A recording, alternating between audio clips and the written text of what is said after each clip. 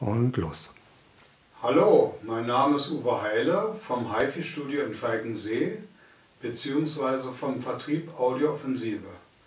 Heute zeige ich Ihnen Digitalgeräte der Firma Aqua.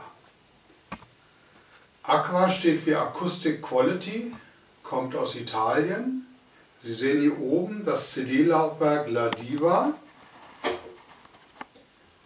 und etwas weiter darunter den Referenzwandler La Formula.